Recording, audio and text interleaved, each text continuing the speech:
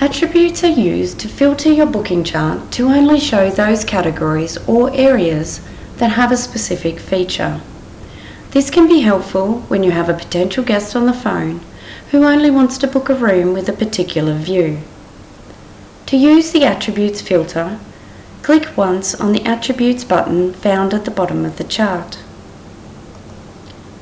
This screen will display a list of category and area attributes which have been entered into your system.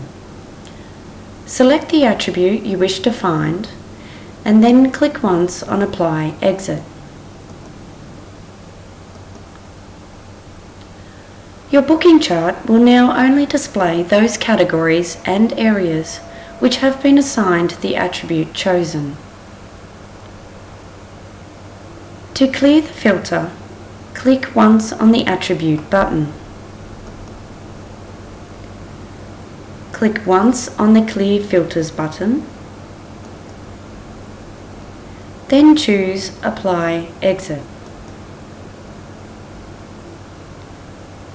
To learn more about how to add and allocate attributes, please refer to our knowledge base for step-by-step -step instructions.